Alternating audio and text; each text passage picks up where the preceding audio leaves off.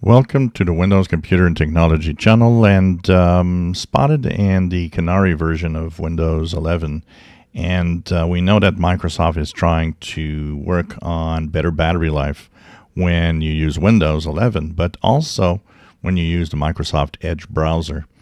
So it seems that more of the um, energy efficiency modes of Windows will be used with Microsoft Edge and it will have its own settings where you can of course you already can tweak some of the energy settings within Microsoft Edge right now but there will be more than just sleeping tabs for example. Often we talk about the sleeping tabs things like that. Well there will be even more of these settings and system and performance in the efficiency mode and how the battery life will be improved by actually using also Windows 11's own uh, power saving modes if you want.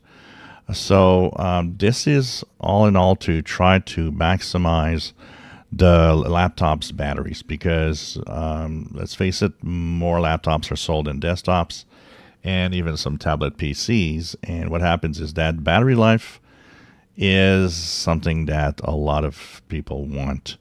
And in Windows, it's a hard sell. Um, you know, my gaming laptop has about five hours of battery life if I don't do too much with it, but it's uh, it's a rough one.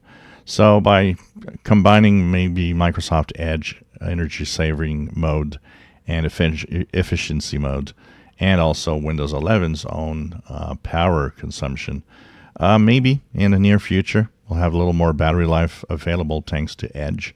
Uh, we know that Google Chrome is trying to do some efficiency by sleeping tabs also, but uh, Microsoft Edge wants to go a little further and try to help and extend that battery life.